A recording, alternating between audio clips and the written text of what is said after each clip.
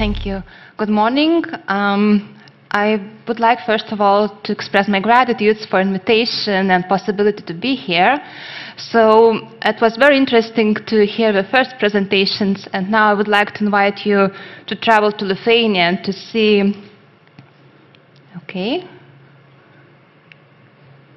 Okay, it's moving. Perfect. To see how migration patterns had changed, uh, have changed in Lithuania since the uh, independence restoration in 1991, what challenges we have faced, and how we have responded to them. So, um, in its history, Lithuania has experienced uh, various phases of migration. In three decades since the formal restoration of independence in 1991, emigration has been the dominant migration pattern in the country. Since then, the number of residents living in the country has dropped by about 24%. It was mainly because of people leaving the country and less people coming to it.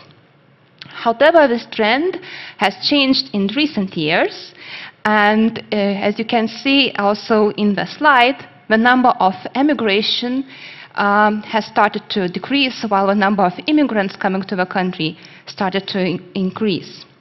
For the first time in 28 years, Lithuanians' resident population, population slightly increased only in 2019, and it was mainly due to the positive net migration of foreign citizens.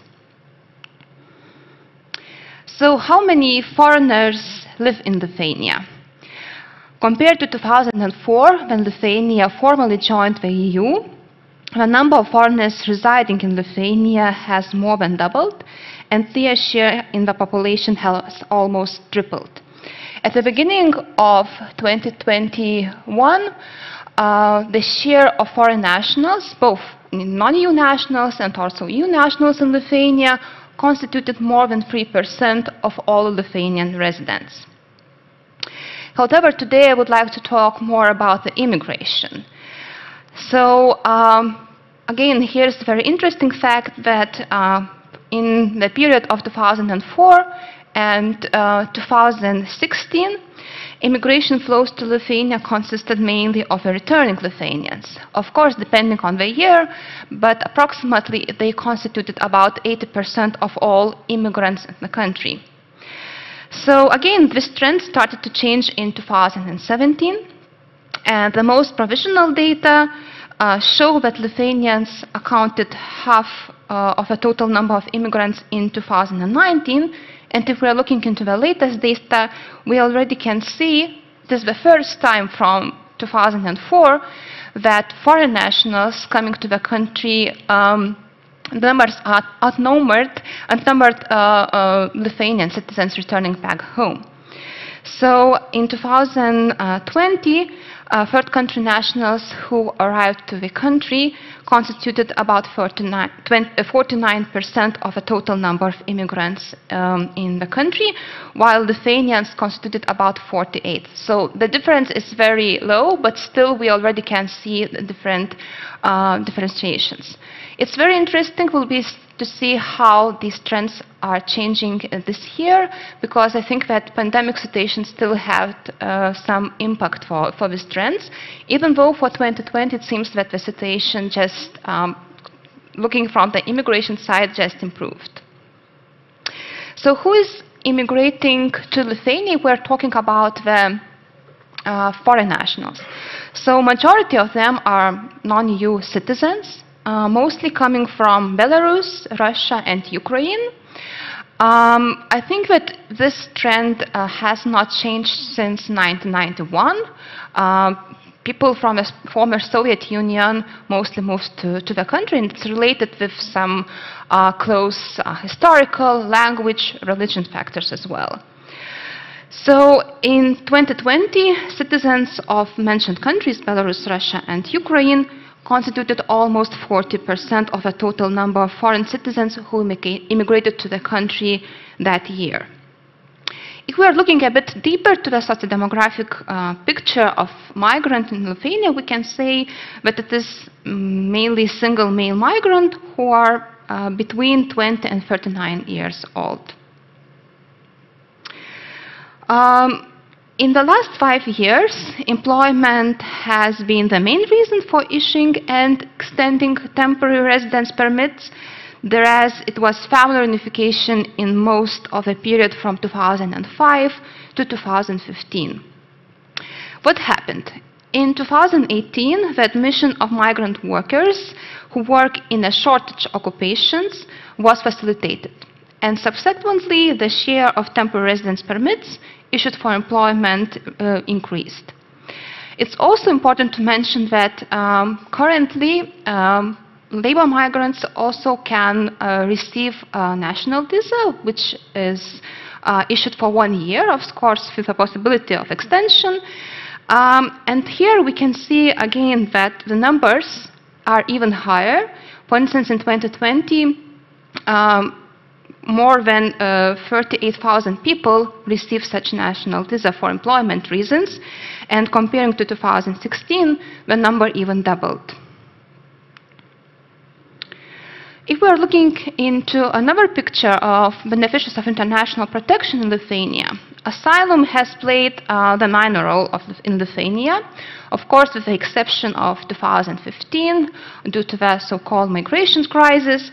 Uh, in the period of 2004 and 2018, the annual number of lodged asylum applications ranged between 400 and 650. And in total, if we are looking from the really beginning, uh, then Lithuania ratified the Geneva Convention in 1997. In total, around 800 asylum seekers have been granted refugee status, and more than 2,700 uh, the status of subsidiary protection. In 2015, Lithuania, as other EU member states, uh, joined European Commission Emergency Relocation Scheme, to take uh, in refugees from Italy, Greece, and other EU member states that, um, that have uh, confronted with a massive um, arrival of asylum seekers. And in the period of 2016 and 2020, of around 500 uh, people were relocated in Lithuania, and majority of them were citizens of Syria. If we are looking into the citizenship of asylum seekers, we can see that majority of them, this is the data from 2020, are from Belarus, Russia, and Tajikistan. While if we are looking into the citizenship of beneficiaries of refugee status, because now this is the main status that most of people receive, so this is uh, um, people from Russia, Turkey, and Tajikistan.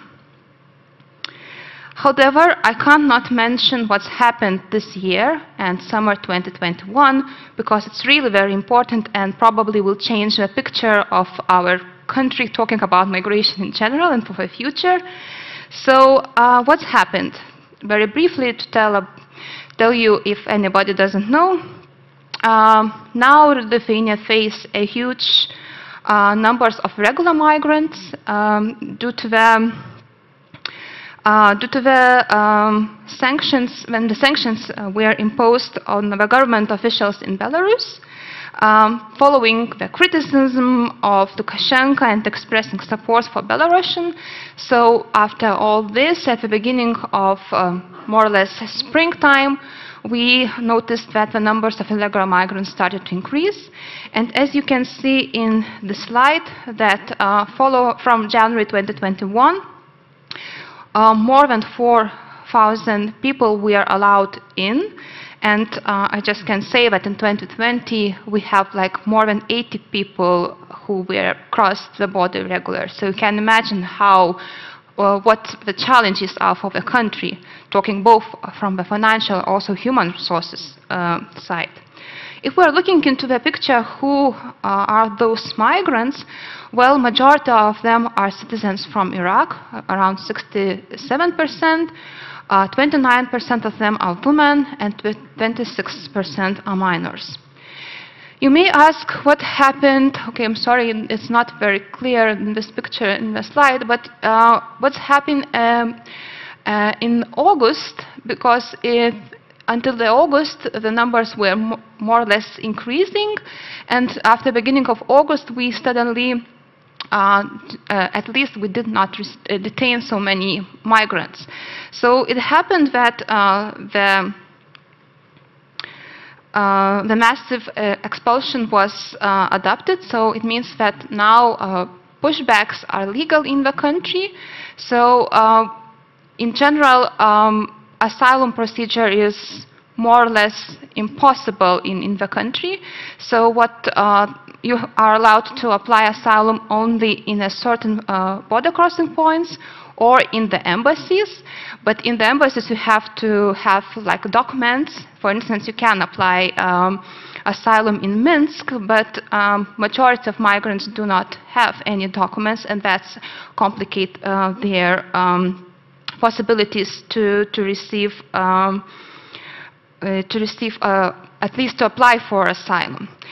Uh, due to saving some saving time, I won't go very deep. If we want, we can, of course, have some talks uh, during the coffee breaks uh, about this issue. But um, in general, we can see also from the numbers that uh, now we have like a, a, huge numbers of asylum applications which are still pending, and um, I think that uh, also that uh, difficulties of applying asylum it also shows from the numbers how many people in general uh, grants asylum because uh, Lithuanians' position and strategy in this uh, side is to, uh, in this topic is to return um, those who came to the country as much as possible.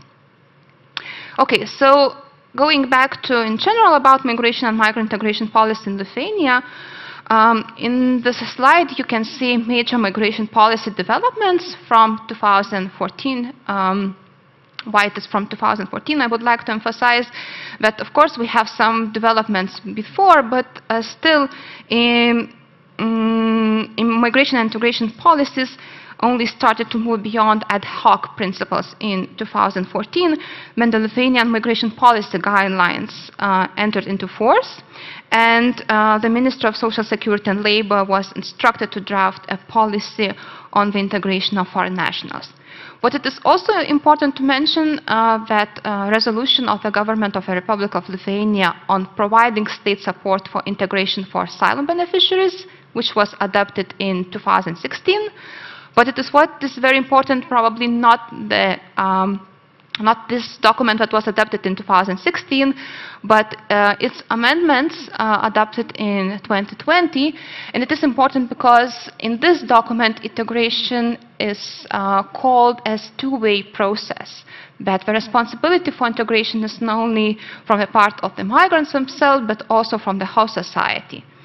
And also a very important document was adopted in 2018. This is the uh, consequent um, action plan on migrant integration. And why it's important? Because in this action plan, we have separate measures for migrants in general and also directly for beneficiaries of international protection. Uh, we also do have a strategy for demography, migration, and integration, which is for, for the period of 2018 uh, 2030. But uh, this document has really um, a lot of um, discussion because it mainly focuses on the Lithuanian returnees, has very um, just few measures related to the migrants, and no um, any measures um, on asylum uh, seekers and beneficiaries of international protection. In the previous presentation, uh, we saw how Finland uh, looks on MIPEX 2020. So we can see that in um, Lithuanian side, we have very opposite situation.